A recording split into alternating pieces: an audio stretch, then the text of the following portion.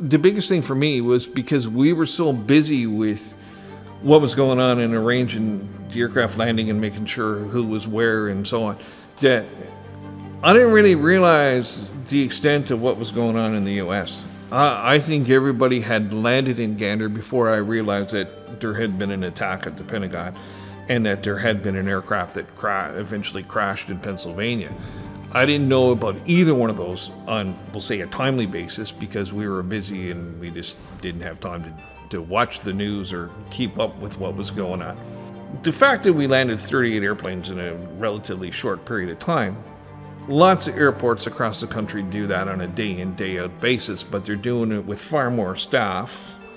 In some cases, double the staff or triple the staff that we had on that day. I mean, in the tower during the diversions, we had three people on shift because physically we had no more positions for more than three people to work. So at the end of the day, to walk out and see all the aircraft sitting on the runways was just surreal because by the time that 9 11 happened, I'd already lived in Gander and worked at the airport for about 11 years, but I basically have lived on an airport since I was born because I was born on an Air Force base and my dad was in the Air Force. And to walk outside and not hear an aircraft overhead was extremely strange. They, any time of the day or night, because of our location, there was always aircraft overhead. To walk outside and realize that there's nobody overhead, all these aircraft sitting on a ramp, and airports are noisy places, were completely silent and they looked like they'd been abandoned there, and obviously they hadn't because they were still full of people at that point.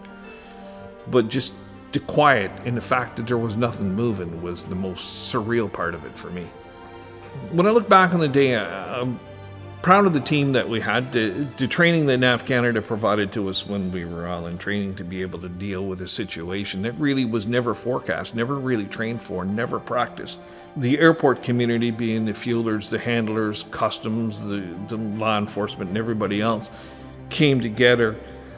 to deal with the fact that first of all, the air traffic control team being the tower and the people in the center and our management in Ottawa that were dealing with the crisis on a whole nother level. The fact that we could deal with that and have it done safely and more or less efficiently was really a source of pride.